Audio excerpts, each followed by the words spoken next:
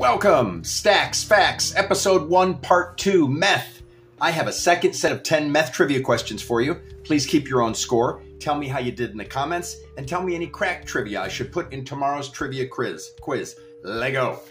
Question number one What is a six letter word starting with C for a person who steals stuff to trade for dope?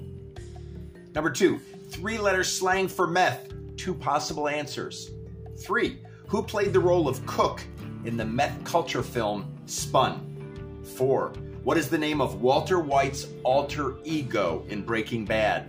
Five, if someone says they are boofing their dope, how are they taking it?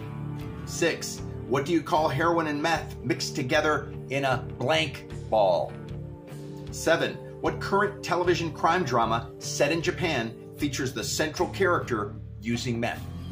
And eight, when a meth user smokes, they are blowing what?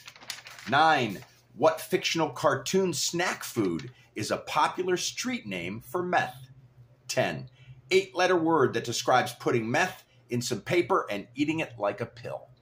Please check the comments at the top. The answers will be there. Press the plus sign for daily positivity. Peace.